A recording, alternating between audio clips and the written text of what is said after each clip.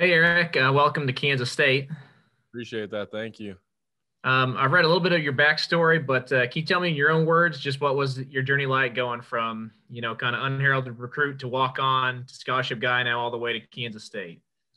Yeah, so uh, coming out of high school, um, I had a, a, scholarship opportunity at Upper Iowa University where I ended up going, um, Winona University, and then I had a preferred walk on deal at Northern Illinois.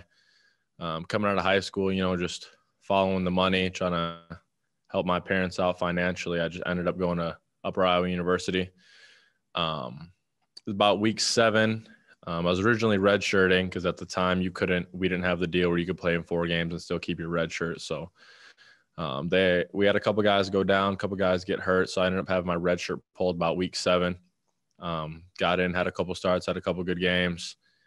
Um, and then towards the end of the season, I decided that I kind of wanted, uh, I guess, a more competitive culture. Um, I guess a little more of a challenge and just kind of a better overall college experience. So, talked to some people and just started reaching out to junior colleges across Southern California. Some of my buddies and just kind of research I've done.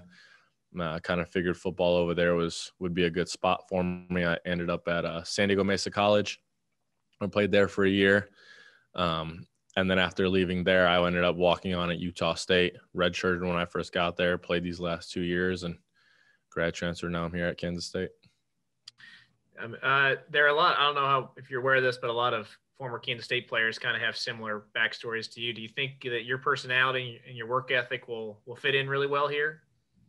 Yeah, one thing I really liked about Kansas State um, was it seems like it's just a lot of hardworking guys that um, really just they just work hard, you know, stick to the grind, blue collar guys who who work hard and want to win games, win, win championships. So I, I, like that about Kansas State, you know, versus having a lot, I guess, big time recruits who I guess kind of come in and don't really like to stick to the grind. They like to run away from the weight room or, you know, our conditioning workouts and stuff like that. Okay. Is there anything specific about this defense that really appeals to you? Yeah. So uh, when I was at Utah State, we went from an odd front – to the even front and then back to the odd front. Um, and then 2019, I liked playing in the even front, the true four down front. Um, so defense I'm familiar with. Obviously, it's a little bit different, especially terminology and whatnot. So I'm excited. You know, got some big boys up front I get to play behind, so that'll be nice. All right. Hey, thanks, Eric, and I look forward to watching you play. Appreciate that. Thank you. Ryan Wallace.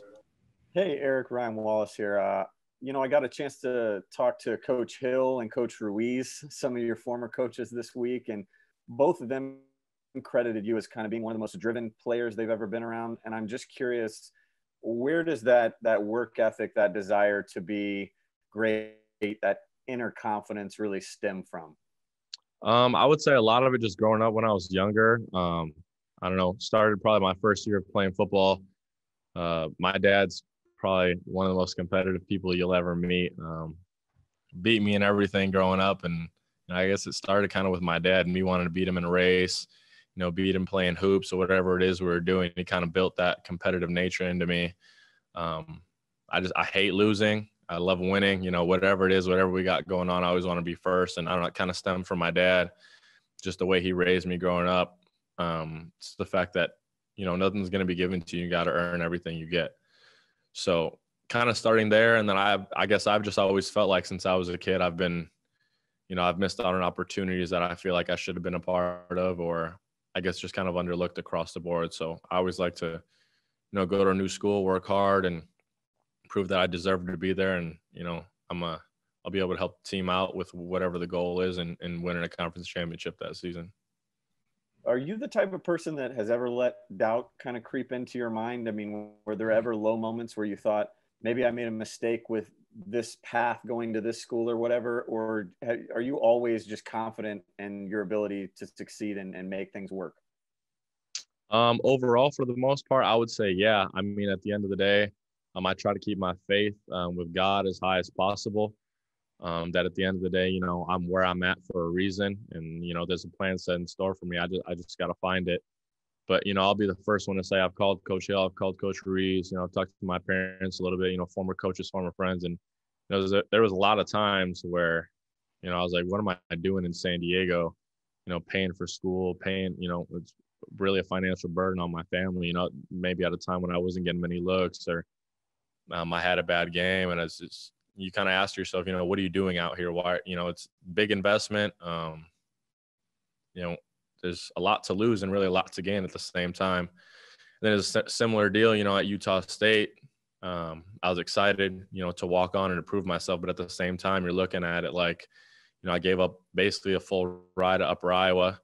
Um, now, obviously, I had some smaller schools that uh, wanted to offer me scholarships, but you know, it's like I could have had my school fully paid for, but you know, here I am instead walking on paying full tuition, you know, at Utah State. And sometimes it does get cloudy. You, you just question what you're doing or why you're doing it. And I guess it comes, you just got to get back to, um, you know, what my goals are and where I want to be when I'm done playing college ball. And at the end of the day, it's the hard work's going to get me there and it's gotten me to Kansas State. So I'm happy to be where I'm at, even though I've had kind of, kind of a rocky road and some road bumps.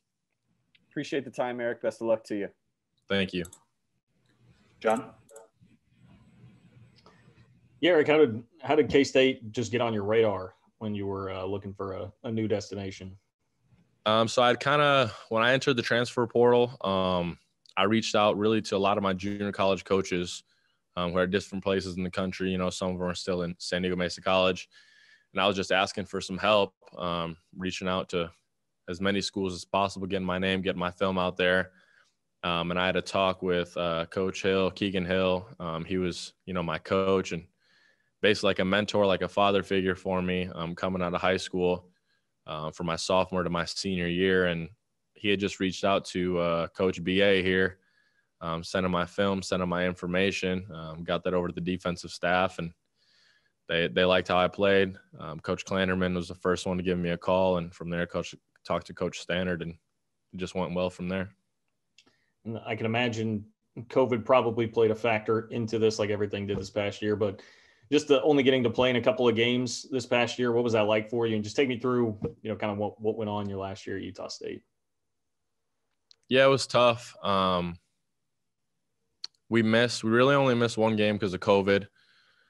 And then we had, we missed the last, you know, as a team, as a program, we decided to opt out of that last game for, you know, different issues that were going on within our administration, which is a whole nother deal. But across the board, you know, we face the same challenges really that every pro, every team in the country was facing, where you had guys out for injuries, which normally happens COVID season or not. Um, you got guys out with COVID, you got close contact guys, got coaches in, coaches out. Um, same deal with COVID and contact tracing. So it was tough. Um, can't really make too many excuses though, because really we're fighting the same battle everybody was fighting fighting that season. So, and for people who haven't seen you play, just how how would you describe your strengths as a linebacker and what kind of a player you are? Um, I think the two two biggest things I do well is I think I um, I think I have good lateral speed. I think I get sideline to sideline well, and I also think I come downhill aggressively. So, I would say those those are two things I do well. Appreciate it, Eric. Thanks, man. Thank you.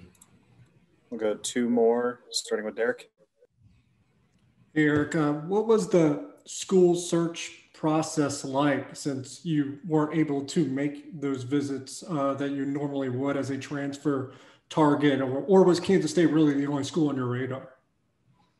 Um, so initially, I mean, most of my recruiting was kind of stemming through Twitter and then kind of close contacts that my coaches had. So, you know, some of my coaches um, in the junior college realm had reached out to friends, um, other close coaches I'd coached with before through the phone, really phone calls, you know, Twitter DMs, Twitter follows, and stuff like that. And then when I finally, you know, really started talking to Kansas State, it was over the phone. And then our, our, I guess, biggest call was, you know, through Zoom. Every, everything's um, done through Zoom basically now if you want to try to get some face to face contact. So that's really all we used. And how would you describe your first days on campus and and just the I guess maybe the challenges of getting to know everyone because of you know the way the world's working right now and just maybe some guys you've really hit it off with so far.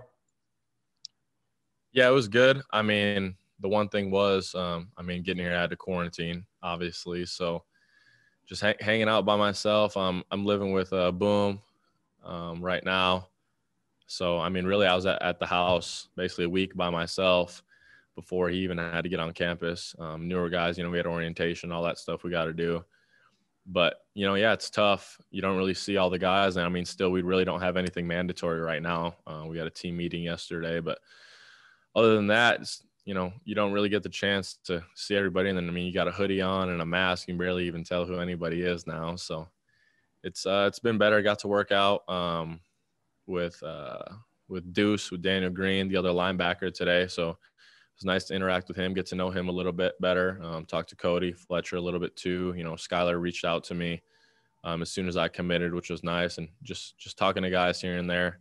Uh, it's been good so far. Thank you. Last one here, Ryan Black. Hey Eric, it's uh it's Ryan Black uh, with Manhattan Mercury. How you doing today? Good. How are you? Hey, doing pretty well. And you actually um, kind of touched on it in a previous answer, and I'm just extremely curious about it because of what a situation it was. You brought up you got uh, you know there at Utah State, you guys not playing playing the last game uh, because you know the controversial comments that the school president made, and that you know you guys as a team unanimously voted not to play. What uh, what did you learn the most from that experience? Just not just only obviously as a football player, but just as a as a person and how you think kind of taking that kind of stand kind of will help you going forward in life. I think the coolest part about it um, was kind of how we all came together. You know, we had a lot of stuff going on at Utah State, especially, um, and I mean across the country with racial inequality. Um, and I think the way our team together came together, black, white, Mexican, uh, we have a large Polynesian community in Utah and a part of our program. Um, whatever nationality, whatever race you were, I think everybody saw that things that were going on at Utah State weren't right. Um, it was stuff that we didn't stand for, stuff we didn't want to represent as a university. Um, I just thought it was really cool that you know, you got a bunch of guys between the ages of, you know, 18 and 24 to come together to say, you know what, this isn't right.